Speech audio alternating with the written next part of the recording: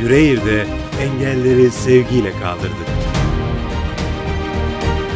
8 yıldır Engelli Koordinasyon Merkezimizde yüzlerce engellimizin bireysel gelişimine katkı sağlıyor, birlikte bir hayat için sosyalleşmelerine destek veriyoruz.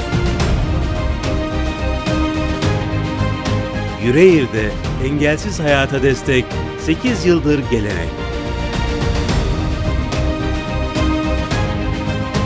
Mahmut Çelikcan, Yüreğir Belediye Başkanı. Her işimiz aşkla.